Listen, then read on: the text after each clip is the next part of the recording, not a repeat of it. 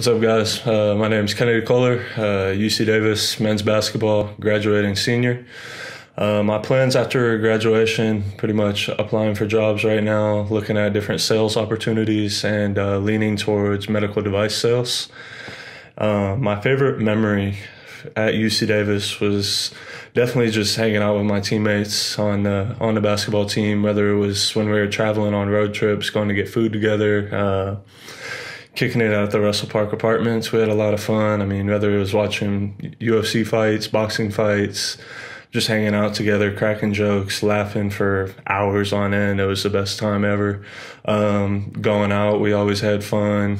Going out to eat, local restaurants. Uh, I mean, pretty much just everything we did together was just always a good time, and I'll definitely miss it. And then uh, definitely miss competing on the floor with my guys as well. So. I'll miss it as well. And uh, thank you, UC Davis. Thanks, men's basketball. Appreciate all my teammates, all my coaches, uh, all the administrative staff that helped out all the years. Uh, that's pretty much it. Go Ags.